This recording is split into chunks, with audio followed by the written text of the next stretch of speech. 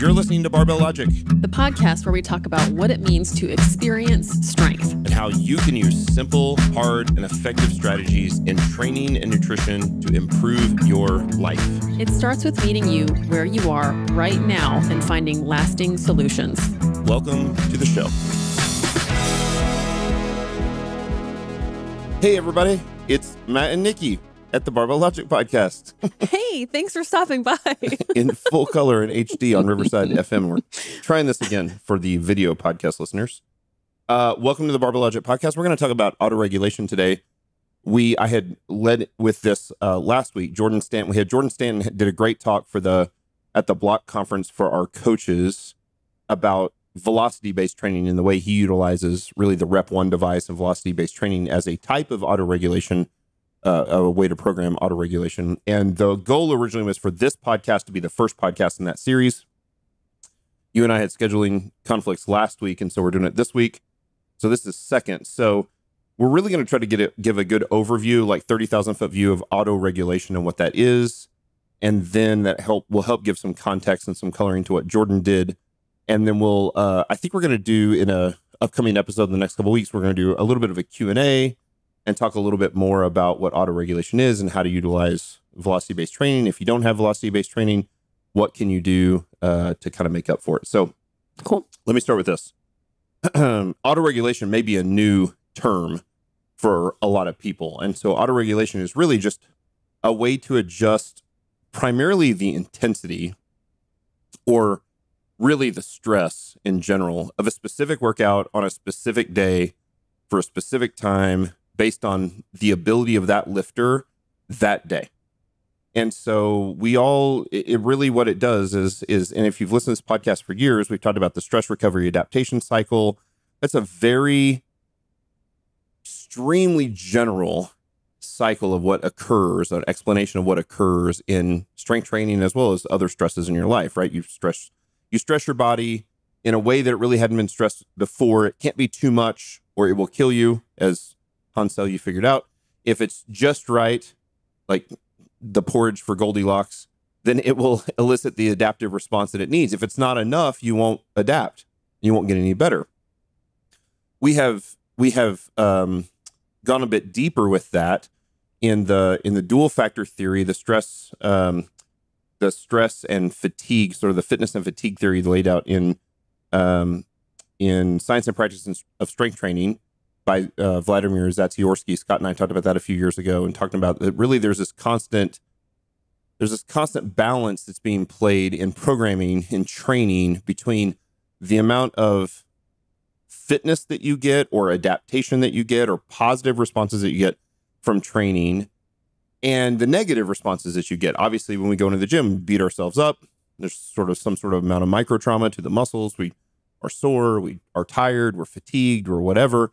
And maintaining the correct balance is the thing that actually elicits the adaptation, adaptive responses. And so if we if we dive even a little bit deeper in this autoregulation, the idea here is how do we make sure that we are bringing about the right amount of stress in every single workout of every single day? And I'll start by saying in as a novice, it's just like not necessary because at least that's my opinion, and I'm happy to hear yours as well. Like we're, I'm just going to add five pounds to the bar for as long as I can. And again, coming back to some of those MED principles Scott and I talked about, we're going to choose intensity over volume in general for as long as we can. We're going to keep driving up the way to the bar. We're going to drive up the way to the bar, drive up the way to the bar, drive up the way to the bar until we can't do that anymore, and then we have to make a change. And so, since that is the case, then I don't actually care if the lifter is not fully recovered or better recovered than normal or like i just care can can they put five more pounds on the bar or a little more weight increase on the bar and do the sets and reps and do that again 48 hours from now?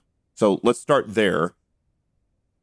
How much have you played with this autoregulation and then how do you view it from a novice standpoint or when would you start to give it consideration for your clients?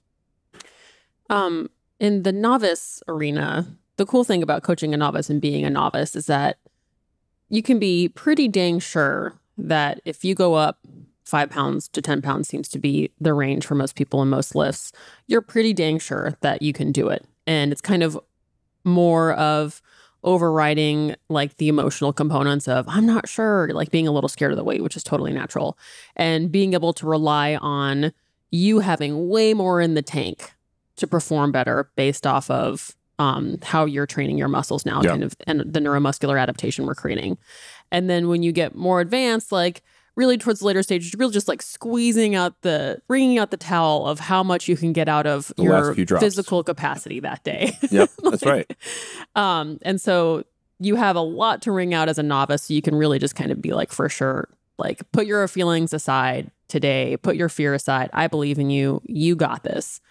But when you get more advanced, it's like the the for sure turns into a hopefully, maybe, possibly. and so like you have to kind of be less or you you are less certain about what you're working with that day in terms of the human specimen and so you have to be able to modify the program and the numbers to work with what that human is capable of doing that day and i think that's where this becomes really useful is because you can't run them into the ground because that's totally possible Sure. where you know it looks wonderful on paper but then when someone has to do it they just kind of maybe repeatedly get beat up and beat up and beat up That's right.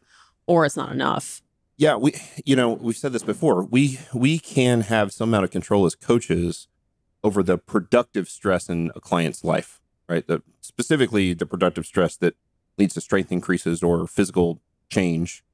But we have no control or very little control over the unproductive stress. Matter of fact, one of the things I think that maybe it's a good pitch for our nutrition program. I think having a good nutrition coach is something that you know nutrition is is there all the time like 24 hours a day, seven days a week, on days that you train and days that you don't. And so having a good nutrition coach is great because they can they can it's that next step in helping to regulate the amount of stress, right? And the amount of recovery. And hey, you're a little beat up. You're beat up right now. Let's let's bump up your calories by three or four hundred calories a day. Or hey, you're you're you're not, and you're putting on weight, and you're seeing uh, the inches of your waist grow, which means that there are probably too many calories, and so they can help kind of hone in on the stress from a nutrition like standpoint. on the fuel yeah That's right. And we can do the same thing in the weight room, but what we can't do is we can't have any control. And often we don't have great knowledge about, and uh, certainly this comes back to the relationship you build between a coach and a client of life stress, home stress, work stress, family stress, money stress, all those things. And those things, sleep, or just like the lack of sleep, or how was your, like, I, the first thing, I don't know if you still do this, the literally the first thing I do in the morning when I get up, I get up, TMI. I don't have contacts on, so I got to go sit down on the toilet because I can't stand up because it would be a disaster. So I have to sit down because I never, I would never, I don't know if I could see the toilet. I've got to feel the toilet like a blind person. really busy day for the house cleaners That's right. Sit down on the toilet, but I can see up close. So while I'm having my morning pee, 40 seconds after waking up, I look at my auto sleep and I look at what my sleep score was. I got over Yeah. three hours last night. I crushed it. holy moly that's awesome I have been. Here's a weird thing. I've been Nice going job. right into deep sleep upon falling asleep, which is Oh, not normal for me. Normally, it's like right, it kind of like trails down, and so yeah I don't know what's been the thing, but I've just been passing out at night. Like it's eight thirty, like eight thirty seven. I'm in deep sleep. I don't. I don't know how it happens.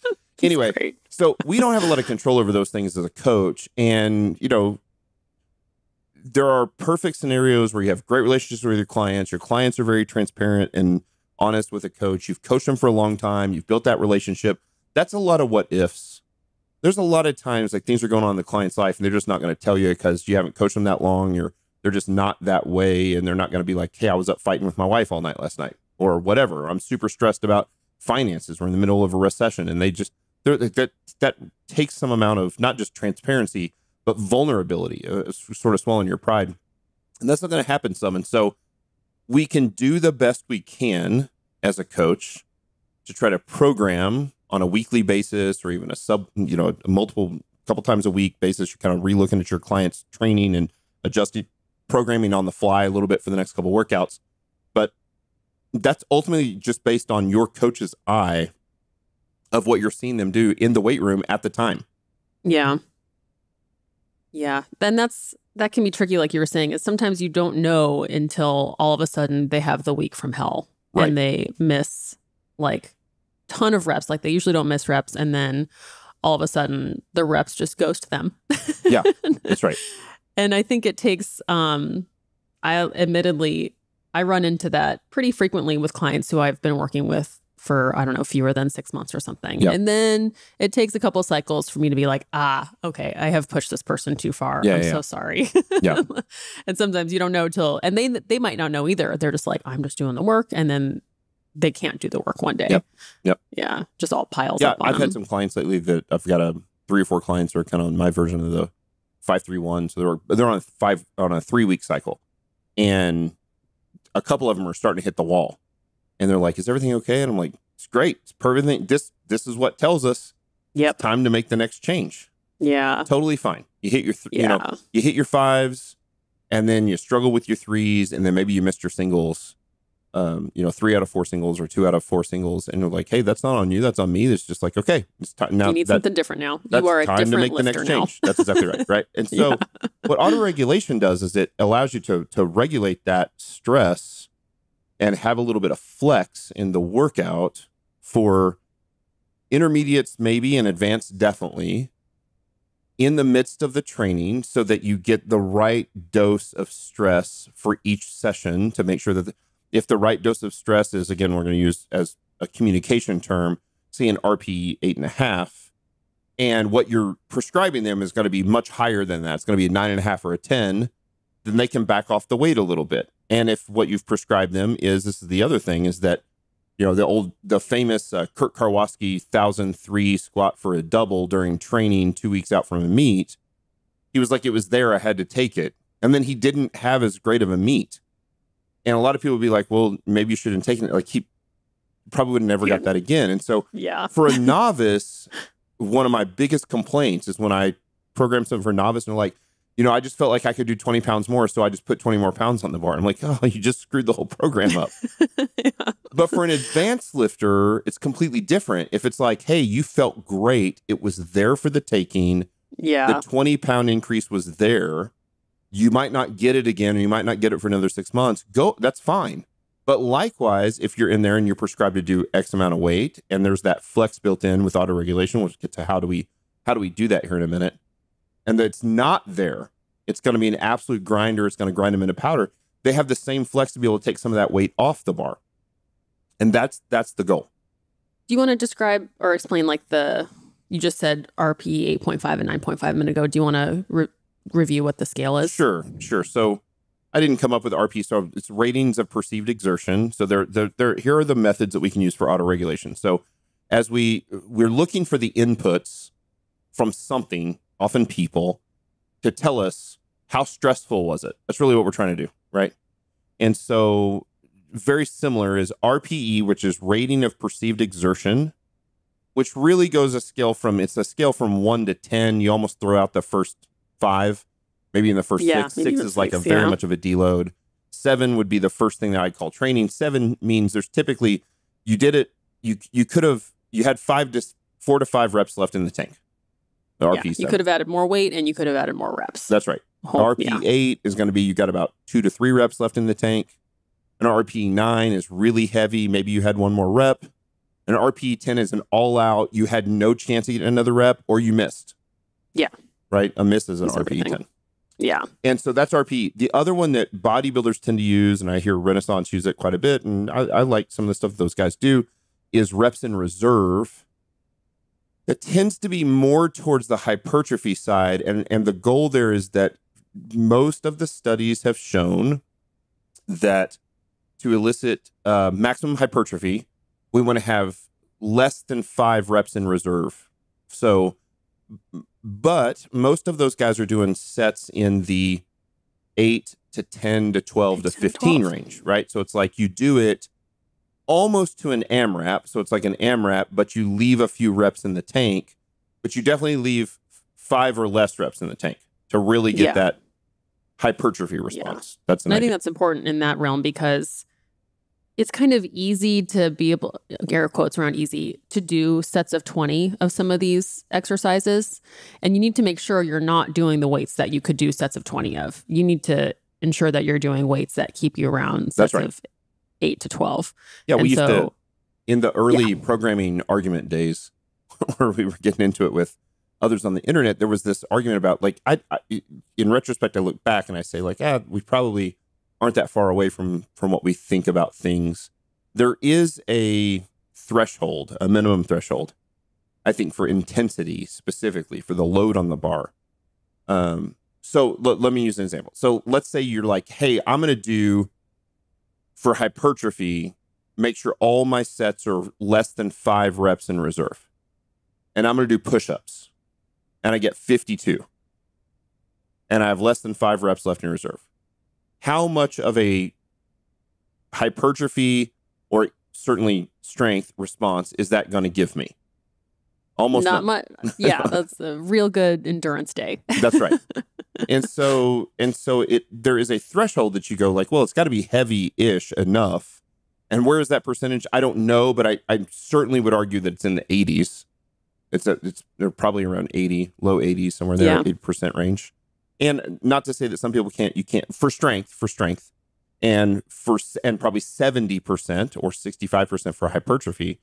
And it's hard to, you know, you can't just go like, hey, I'm gonna do 25% for sets of 80, 75 reps and leave five reps in the tank and get it's just at some point yeah, there's a minimum threshold. And also who wants Yeah. to do that? That sounds terrible. So the downside with using RPE or reps in reserve for auto regulation is that it's a completely subjective input by the trainee only. Nobody ever talks about this, but RPE wasn't really a thing until there was online coaching and specifically online programming, right? And actually, I was thinking about this before the, I think a couple days ago as I was thinking about the show. Um, okay. So, have you ever used RPE for an in person client when you're standing there coaching them? Um, kind of like in an educational sense of I won't say like, all right, we're gonna do reps until you hit RP eight, and you just Right. you just stop when you hit eight.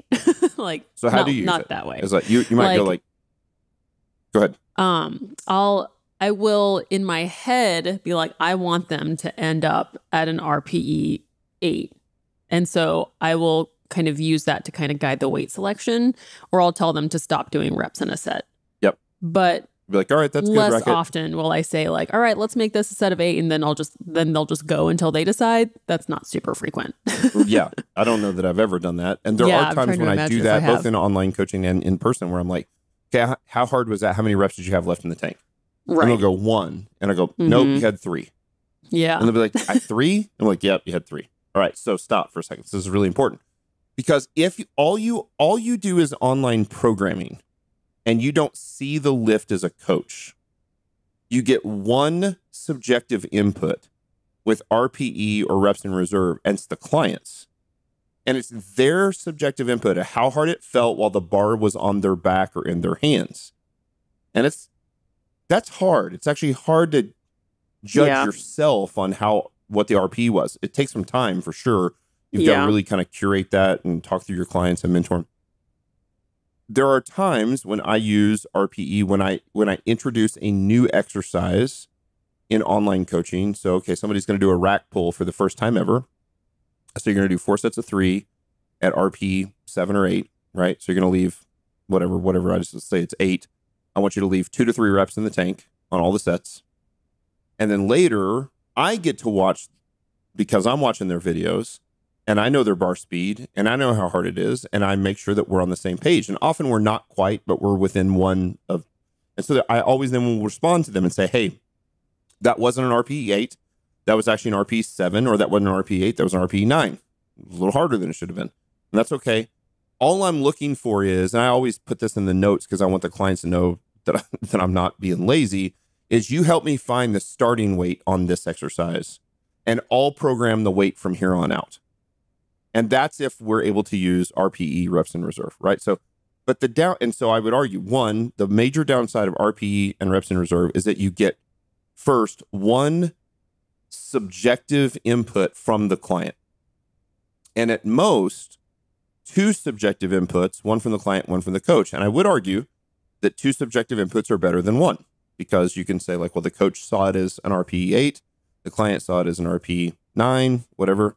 And so you can say, okay, we can kind of we can kind of hone in on this and we can make some adjustments. But the downside is in real time, the client has to make the adjustment on the fly. If it's an RPE this and then back offsets with 10% less, you just have to trust that they have a pretty good handle of RPE. So we often use RPE, we've talked about this on the podcast a lot, as communication tool and less as an auto regulation tool. I think it's still appropriate and can be done with certain people. I don't want to say it's never worthwhile, but I think it's got some serious um, downfalls.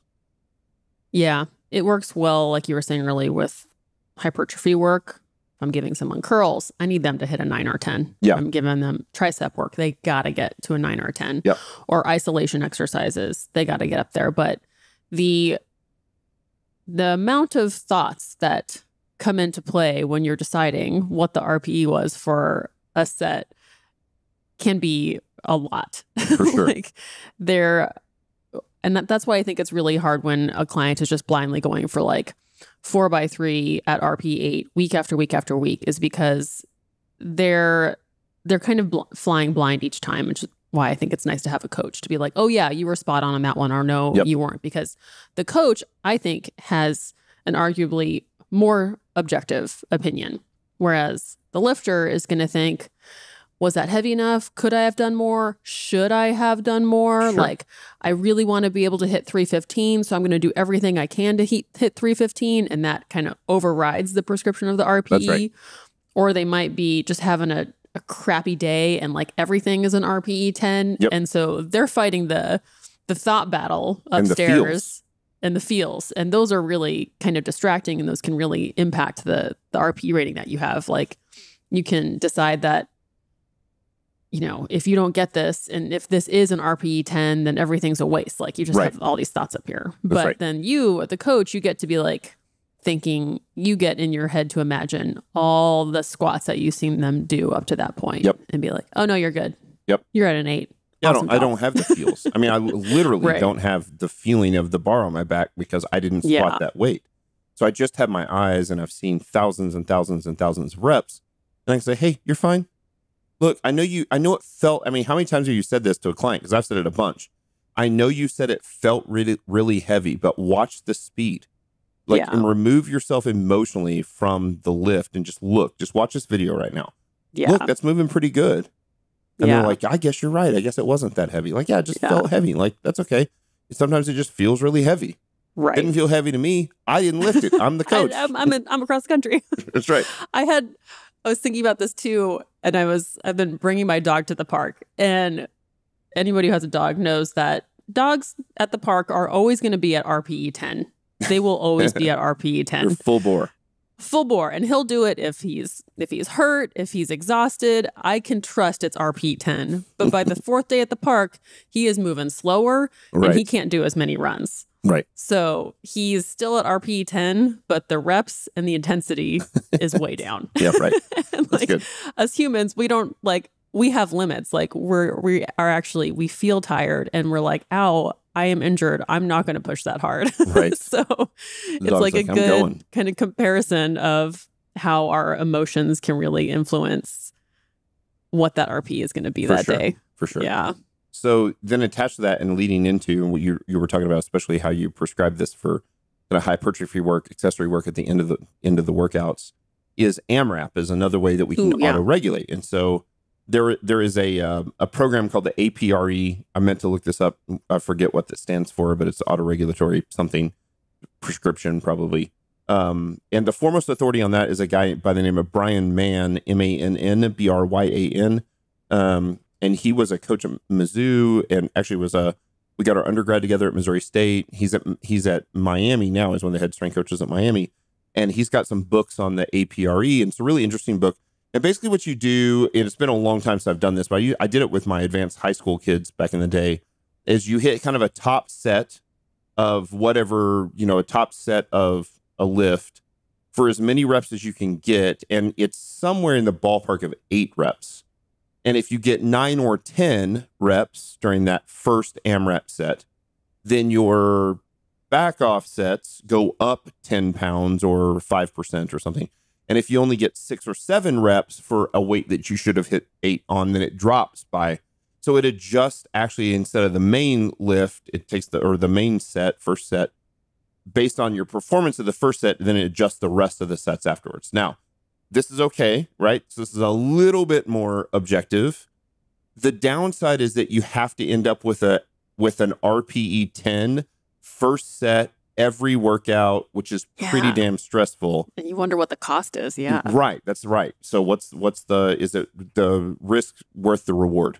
And so certainly it's it's valuable and that interestingly enough, this guy has a lot of um experience with the Tendo unit, which was the original velocity based piece because when you're at a, you know, big time division 1 school, they can afford $25,000 units of things. And so um, he actually did a, a really interesting study, I think, for his master's about um, they did power cleans for maximum force production based on the Tendo unit and s- tried to see what the correlation was between that and vertical jump increase. And it was interesting as guys. So rather than power cleaning up to their max weight, they power cleaned up to their max power output. Oh wow. So the combination of weight and speed. And they sa- they found that it had much better carryover to the vertical jump than just being able to clean the most weight, and which was interesting. And um, but anyway, so Bryan puts some good stuff together with AMRAP. The- Again, the downside of AMRAP is: Do I want my client lifting RPE 10 on every lift, on on the first lift of each day? Maybe All the for Louie time. Simmons. Yeah. That's, yeah, it's pretty tough Yeah. and so so there's some drawbacks there as well And again for you know poor man auto regulation it's probably okay and i certainly think it's okay for non um, compound movements accessory movements i use amrap a lot of times the opposite of what the apre does so i know in general where a client should be for say barbell, cur- barbell curls or ltes or something and I say on the last set, go to AMRAP. So you're gonna do three sets of 10.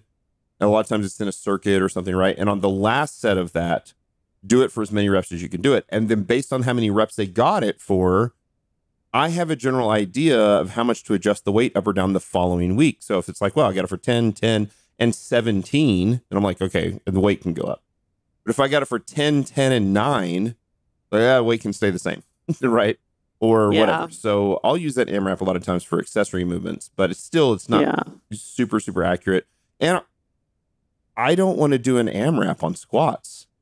Yeah, I was gonna say like when when someone will see like an AMRAP, you really get to, and as a lifter, figure out what motivates you for that AMRAP. Yeah. Or when you or when you see RPE nine, you're like, am I in an RPE nine kind of mode today? Or right. like, right. is this really is as many reps as possible, or as many reps as I feel like today? right. Right. like that has to, I think that has to be programmed kind of selectively because sometimes the lifter will be like, I am out of AMRAPs. Right. I'm AMRAPed out. right. That's right. That's right. So so yes. So that's another some sort of combination between subjective and objective, right? So there's an objective piece, like if it's really an AMRAP, it's objective, but but also knowing that the client's psyche goes into it, Yeah. sort of steers it into a subjective into manner, for sure. yeah. And then we, we already mentioned you've got the coach's eye, judgment in the gym in the real time, and or feedback after the workout for an online coaching experience, especially if you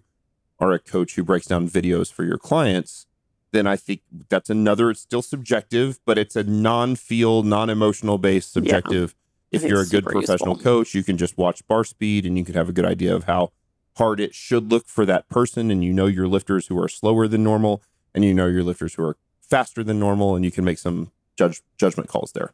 Yeah. Certainly. And then the velocity based training tools really make it pretty objective. You said about bar speed. I would say 100% objective. yeah. I would say no matter how good your eye is, and I think the two of us have a very good eye. We've done this for many Well tens of thousands of hours. Yeah. That a velocity based hardware is better than our eyes. It just is. I would have to It's, agree. you know, it's Yeah. it's that you know a a human is never going to beat a computer at chess ever again ever and Yeah. at some point we just have to recognize that so we can deny it or we can just be like listen this thing can measure the exact velocity of every rep it can measure the tool. average velocity it can measure the peak velocity it can measure the fall off velocity the all of those things. And Jordan talked about this last week. We'll talk about it more next week or in a couple weeks. And so those velocity based training, it del- it tells you exactly. So what you do with these velocity based training guides. And by the way, there isn't a good one that doesn't have hardware attached right now.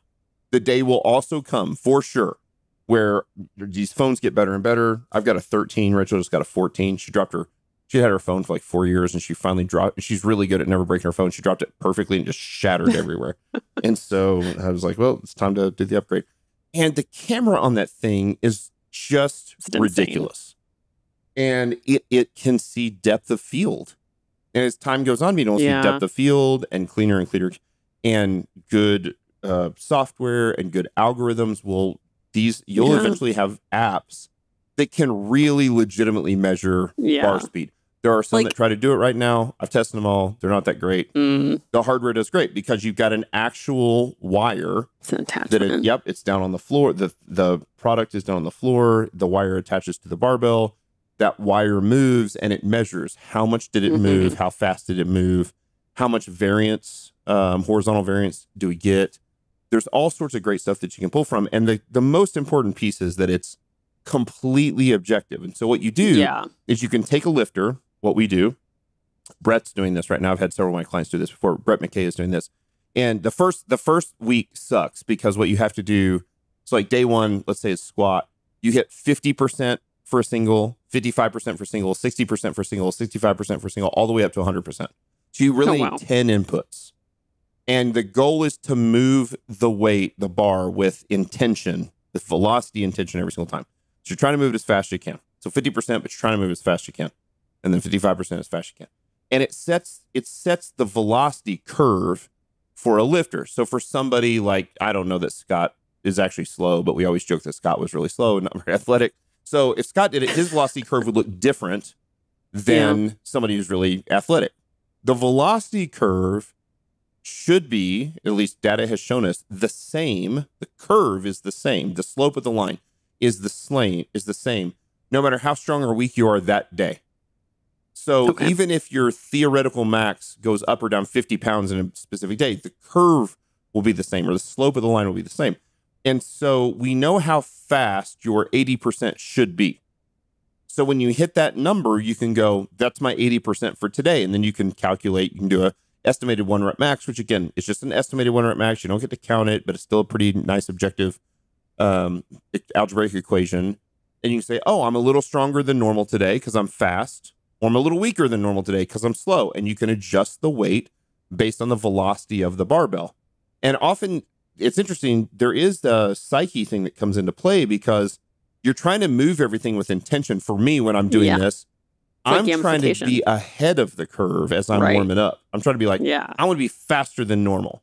And right. sometimes you are, and then sometimes you're like, man, I'm trying to be faster than normal, and I'm slower than normal. It, and, it gives you that little like that like dopamine hit. Like, that's right. Oh, I did it. That's right. Yeah. I also think there's something to be said for moving every single rep as fast as humanly possible. Right under for perfectly real. good form. Again, that doesn't yeah. mean it's not measuring the speed of the entire rep. So like I, my negative, my my eccentric phase is not specifically fast. It's like okay, I'm under control.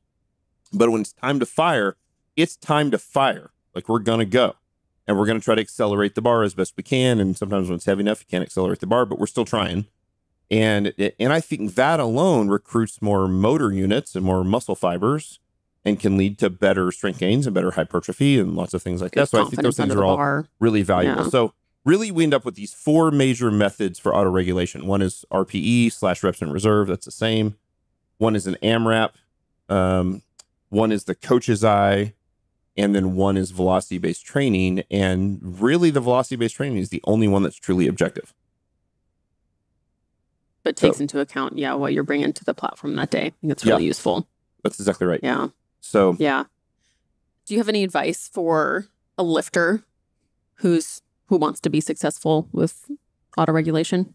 Yeah, I I think actually using as many of these as possible is actually valuable. So I th- think that the least effective method, it, while not totally ineffective, I want to be clear, I don't think it's totally ineffective, is for the client who just has a program that they're following that is RPE based, it's like an online program they're following, online template that they're following, and they're just trying to use RPE only. There's no there's no real prescription for There's load starting or percentages. It's just RPE only.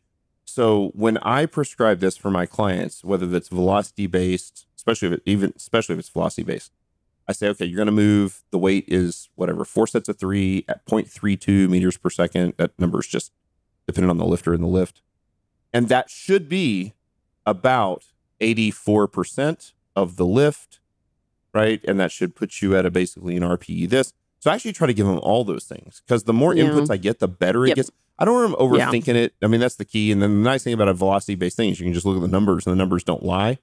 But it, it, it also sometimes, if I've done the velocity based training, what I do is I lift, I go as fast as I can, and I think to myself, that felt a little harder than it should have been, or it felt a little easier, it felt dead on. And then I and then I look at the thing. I haven't looked at it yet, and then I look at it go, hmm, I'm I'm right or I'm not right. Like, oh, I thought it was harder than it should have been, but actually the speed says it was pretty good.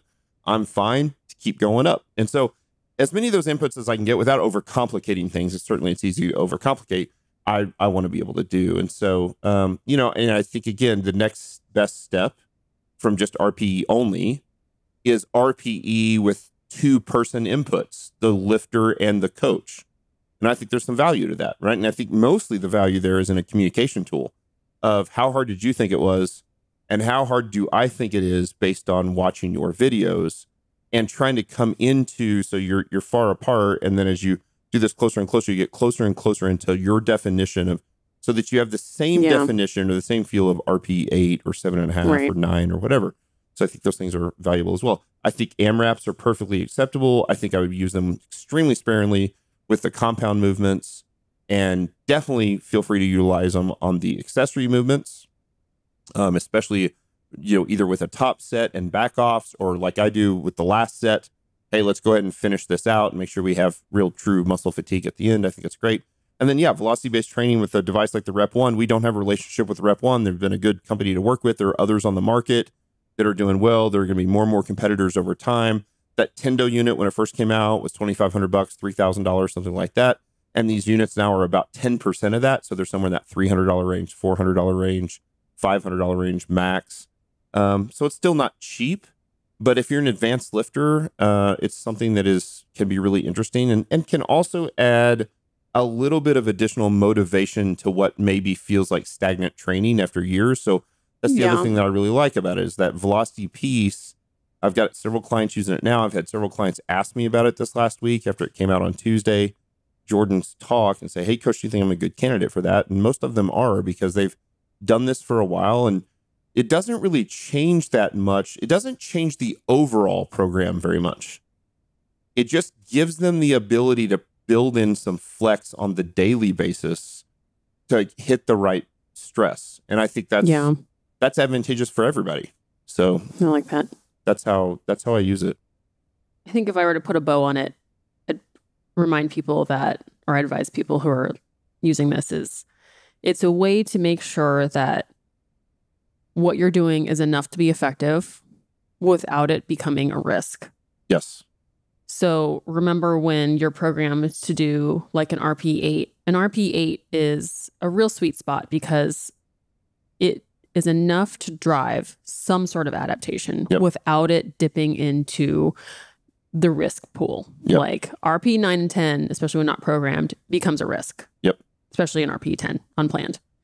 And especially with hypertrophy work, stuff that you would program AMRAPs, AMRAPs for, studies show that you have to get to that point for it to be worth it. Sure. So if you're going to go to the gym and do three sets of 10 on the leg extension machine, don't do three sets of 10 that you could do 20 of. It's not Right. even worth your time. That's right. So the intent behind it is to make sure you're doing enough and then it's managed by make sure you're, to make sure you're not doing too, Too much. much. That's right. Yeah. That's and great. keep that in mind whenever you're weighing the cost of like, man, I really want 200 pounds to be an RPE8. Can I make it an RPE8? Yep. Be like, careful because that eight is there for a reason That's right. because of what's coming next. That's right. so take that into account when when you start playing that game with yourself of like, what's I really want this. I don't feel like this today. Like when you start weighing your emotions. Yep. Yeah, I think it's also really important to understand that when you get to this point in training of autoregulation, especially vol- velocity based or RPE based, all of it, is that you have to take the long view. So you will have days. So remember, if we go back and fantasize about what it was like to do LP and just put five pounds on the bar every single time for four months, you're never doing that again. Like it's linear progression. Guess what training isn't ever anymore? Linear. It's just not. It's like a scatter chart, right? right. But overall, if you did the, you know, if you smoothed out the lines, yeah. it's still a relatively linear line, but it's, Yeah. you know, it's got bumps and ridges and whatnot. And so, Yeah. and so you can't let yourself get down. So, and I've done this before too, where I'm like, okay, my speed was whatever on bench press this week. Last week, my speed was 0.4 meters per second. So this week, I'm going to go up five pounds or 10 pounds, and I'm still going to try to hit 0.4 meters per second. Trying main same speed, higher weight, and sometimes I can do that, and sometimes you can't. And if you can't, it's not about getting depressed that you didn't make progress from week to week because there's still maybe fatigue left over. Again, life stress, unproductive stress, whatever those things are. But the the key is that we get the right stress today to continue to drive the mm, adaptation so totally. that over the course of two weeks, three weeks, four weeks, that line still goes up and to the right, probably at a lower slope than it did when you were you were a novice, but like that's still the goal. And if it doesn't, then we know that we can make changes. That's the other thing. I think it gives you really good feedback quicker so that over a two week period, we can be like, hey, we probably need to make some adjustments. Coach should make some adjustments because we're not making progress over a two week period or three week period. But it's not about guaranteeing being faster, speedier, better every single workout or from workout comparison, you know, from bench workout to bench workout to bench workout. It's not always going to work that way because you're going to have days where you're stressed or you didn't sleep well or whatever. You're just going to move the weight with intention. You're going to do the best you can. You're going to do the right amount of stress, and that's going to do the adaptation that you need. Had you done what had been programmed, if you were a little beat up, it would have been too much stress and probably driven you into a place that you didn't make progress at all. And so you really have to start to take the long game view, and um, and that's tough when you've come out of linear progression or PRs every single workout. They're not PRs every single workout. That's part of what's being part of being advanced is that you don't. And so so as long as you can keep that into perspective and go like, hey, I'm just moving it with intention. Over time, this is going to get better. You know, chalk up the slow days to slow days, rough days, high stress days, whatever, and move on and put it behind you. And that's I think one of the best things as a advanced lifter can do. You know, back in the days when I used to play poker many years ago, 10 years ago, the best poker players get a bad hand, they get a bad like bad beat, bad luck, and they forget about it 2 minutes afterwards. Like Oh, wow. instantly afterwards. That doesn't change the way they play. And so training has to be the same for an advanced lifter. Get the bad workout, the tough workout, the stressful workout, the slow workout, the beat up workout. And it's just part of the long term process Yeah. to me, the clients that do those workouts consistently are the ones that make the most progress because anybody can go in and train when they feel great and they feel fast and they feel explosive. And other people come, you know, you come in and you feel like crap and you do half the workout and you're just like, I shut it down because I felt like crap. No, no, no. Do the workout, do the right amount of stress. Understand you did what you're supposed to do today. That's those blue collar days that I talk about punching that time card and come back in to fight another day in another couple days, see how the speed is and a couple days after that, see how the speed is. And then what you'll see probably is you'll continue to see that slope move up and to the right. It just won't be a beautiful linear line from workout one to workout 40. It's just not going to happen. is fine. So That's okay. This guy is not falling. that's right. so there you go. There's auto regulation. So great tool to have in your bag for advanced lifters, for coaches who are moving clients towards late, intermediate, and advanced. And uh, and so if you have questions, please send an email to podcast at barbelllogic.com, podcast at barbell-logic.com. And w- any questions you want to know about auto regulation, velocity based training, RPE, RIR, coach's eye, bar speed, AMRAPs, anything in this auto regulation wheelhouse, please ask those questions over the next couple weeks. We'll have Jordan back on the show and we'll come on and we'll do some Q and A uh, based on those questions, and uh, and we'll we'll answer those and help try to hone in a little bit on any questions that you have to help you get a better handle on this, whether that's for your own coaching or for your own training, or if you're a coach and you're trying to utilize this or start to utilize this with a client. Again, I I recommend the Rep One device. It's a great device. They're hard to get a hold of. that I mean, it's another great. It, it shows how good they are. Is that they they're sold out all the time.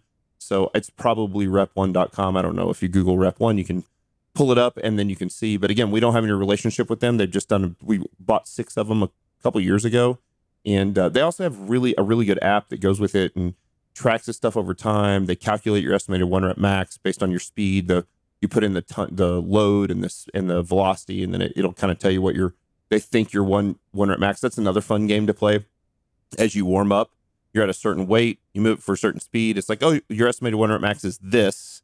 And you're like, okay, I'm going to drive that up on the next set. I'm going to go a little faster. And so it's kind of, it's kind of fun. Yeah. Fun games to play. There you go. There's another episode of the Barbell Logic podcast, Auto Regulation. Hope this brought you some value. If it did, please give us a five star review on Apple Podcasts or Spotify or wherever you listen to your podcasts. And uh, I'm excited because we're recording this. It's October 27th. It's almost Halloween. Halloween to me ushers in the holiday season. I don't know if you feel this way.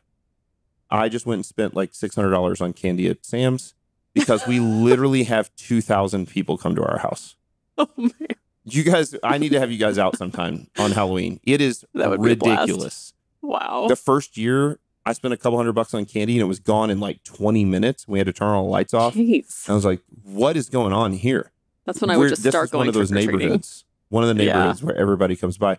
And so fun. we get all the good candy and then we switch to the full size candy bars, the full size Snickers and stuff. You're that family. I'm that That's family. awesome. It's like Mhm. 7:30 when it starts getting dark and when slightly older kids come in. 'Em up. Yeah, we make like Frito chili pie and I sit out on the porch with my wife and and uh, just hand out candy. It's fun. so good. I love it. So Happy Halloween, everybody. happy Halloween, happy holidays. I'm excited. We go from like, you know, we go from bonfires and chili and candy to smoked turkeys and pecan pies. Obviously not not pumpkin pies, according to Scott, because he says those are gross. and then we go to eggnog and rib roast and yum. Fire nog. Fire I think I'm going to do fire nog this year. Burns both ways. Burns going down, burns coming out. All right. Happy holidays, everybody. Thanks, we'll see you guys next week.